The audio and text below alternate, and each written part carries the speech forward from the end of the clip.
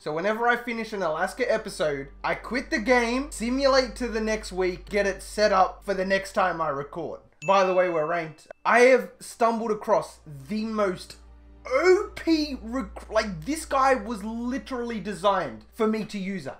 What is going on, fellas? Distinguished Dish Rack 31 here. Last week against Washington State, we had a lot of recruits come in and a lot of people sign. This includes 79 overall Ryan Skinner, who is the six foot seven quarterback. We also signed Brenton Coldwell, who is in the top 25, I believe, in the entire class. He turns out to be a quarterback. Gonna need to find him another position. Zach Weatherford and then Stafford Prater, all these guys came in on visit. Chris Davis is scheduled to visit this week. So is Chuck Nolan. Both of these guys are going to bolster up that secondary. So because we signed these four guys, we were then allocated 2,800 more points. I found it Chris Walker, who is a JUCO. He's a three-star athlete. He can play running back. He can play receiver. He's pretty much a receiving back. Tony Dickens, an outside linebacker. He was decent. I put him on the list because of the 80 hit power. And then I stumbled across Anthony Harrison. Six foot tall, 223 pounds, and is a four-star recruit with the 700 points and the 255 bonus it will be easy work to jump up in front. He went up four overall, 85 speed, 99 acceleration, 87 hit power, 83 jumping. Can also shed like a beast. I really want to use this guy more than anybody in the history of, of any dynasty we've ever done. That being said, fellas, we're taking on California this week. Stanford's already played their conference and division games, which means no matter what, we cannot take first place. Therefore, we won't be in the Pac-12 championship this year. At the moment, it's saying we're going to be taking on Notre Dame. Now, that would be a really good game to play in. Speaking of that, we have Nebraska at ranked number one in the nation on an 11-0 record. They're the only undefeated team left in the entire NCAA. Oklahoma is 6 and 4 with that overall. Next episode will be our bowl game. After that, the off season, and then we get to play with that beast linebacker. That being said, fellas, let's jump into the game.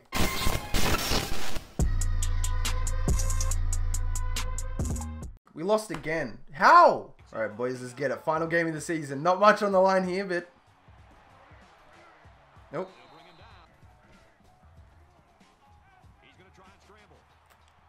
I'm just going to take that all day. Oh, get that block. Go Kyle, fly for it, dude. I like that, mate. I like the intensity. Dropping the strong safety down a little bit. Rivera, can you get open across the middle, my dude? He doesn't get open. Oh! Ooh, good swat.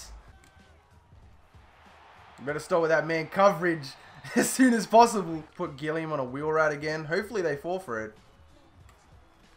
Go to that out route. Foster, the 65 overall. He's going to power his way in the end zone. That was the easiest drive all season. A little bit more than a minute. Florida State might lose to Florida. I'm loving this man coverage. As they dot us up. He's gonna take off because we don't have a spy. Oh, jeez, run into a brick wall.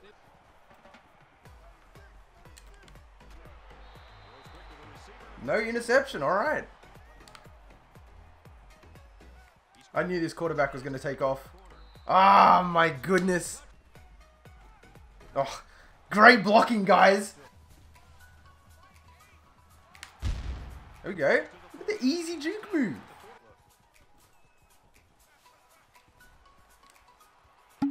Oh, Gilliam. What was that, my dude? I'm going to look out here for the... Uh... No, thought it was going to be a running back play. Damn. I'm going to join the blitz this time. I never go on the blitz. Rightfully so. Come on, keep him out. Gonna take off again. Normally they give that a touchdown. It might have been a touchdown now that I think about it.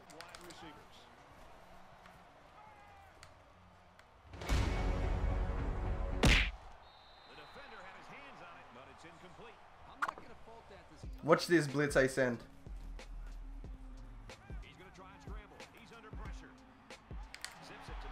Let's go, Jim.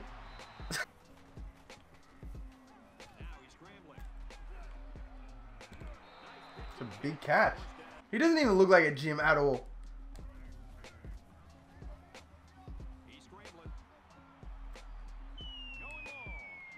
Oh, dude, what? Hang on to that Copeland. That's my guy. You reckon they'll forget about Gilliam? I reckon they will.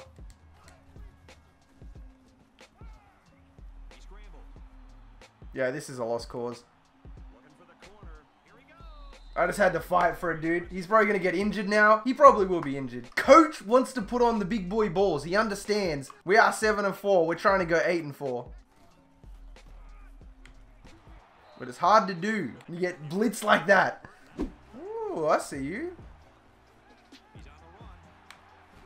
There's no way he just came out of that. What, what what's going on? We have to kick off to these guys in the second half. I would preferably like to be 14 to 10 or even tied up. I'll be happy with a tied up game.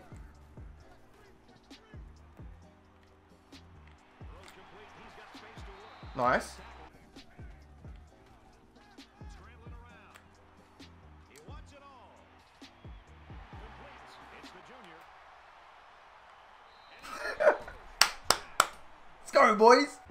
Let's put Mendoza on the spy just in case. Because I feel like this guy is going to try and take off. He's been doing it all bloody game. They're annoying. Boost! Oh, I, I'm the one who got boost. Nice. That goal line stop, that red zone D, that was very, very lucky to say the least. We need to get some pressure to the quarterback right now. That was, I don't know, I did everything but tackle the quarterback there. I guess I'm going to jump on Gene. I think they're just going to go to the run there. Oh, it's so annoying. Have Oh, that's a face mask. They're not even going to call it either. That is home field advantage at its finest. I thought we had a spy up. Clearly not. It's going to be another run. No, it's not. Oh, that's my flat. Oh. What are you, what are you going to do? If they call a blitz at any time. Oh, dude.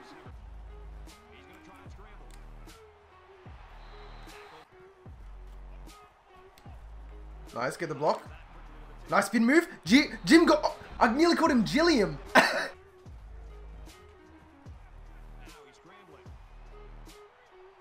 gonna. I'm gonna test it. Oh, Jim has no awareness right there. You see that? He just kept running. Lucky this game has no value towards how our season's going to turn out. Take off again. Come on, somebody's got to react. We can't get off the blitz. Hubbard just got screwed up from behind. Gotta watch the quarterback here. He's tired, which means he's vulnerable to the fumble. He's to get sacked. Nope, just to be another run. Let's go then. More than anything today, it's been the mistakes that have held us back from our being in front right now. But that's what you get when you play three Alaska games in a row. Mistakes are going to happen just like that. Let's go. That is a lot of man coverage. Hopefully we can buy enough time here. Either Jim can get open or Copeland can get open. It is man coverage. Oh, the step back didn't get him. That's still a big completion though. This isn't the play I was after, but it's very similar. Unfortunately, we have the trash cans out here. Rivero is the only notable receiver that I would like to throw this to. Speaking of which, he's gone. Oh, it's underthrown.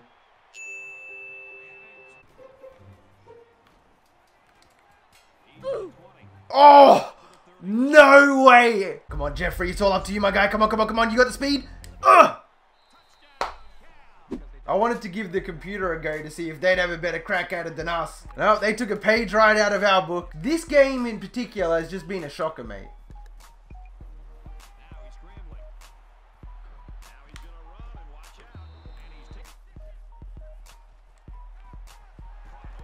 This guy's a beast for 65 overall. Let's go, let's go, let's go. Oh, good blocks! Those smart devils, they're gonna switch it out to the right. I never would have guessed. Oh, they're on it. Yeah, they knew. They knew that was coming. Why not? Why not, right? Oh! Isn't that a safety? Or is he on the one? He's on the one. You guys thought I threw an interception? Come on, man. That was the plan all along. Get two points, get it right back, score eight. He threw another one! Dude, and they scored immediately. Oh, dude, these guys. Now you want to start completing passes, mate. When there's 10 seconds to go, we got blown out that game. Damn, they dropped 500 yards on us. If I'm not mistaken, Kyle had five interceptions that game. He had two simulated. That was the third. The fourth one was the one where we got the safety, and the fifth one was on sim as well.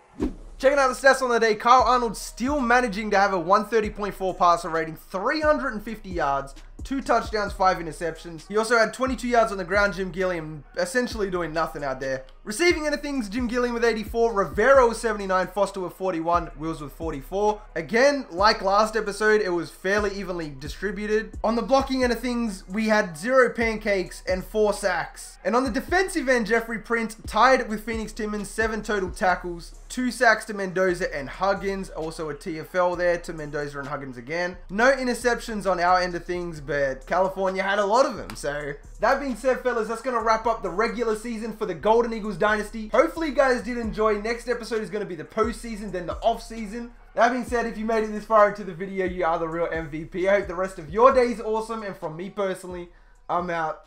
Peace. Tell me pretty lies, look me in the face Tell me that you love me, even if it's fake Cause I don't fucking care at all You've been out all night, I don't know where you've been You're slurring all your words, not making any sense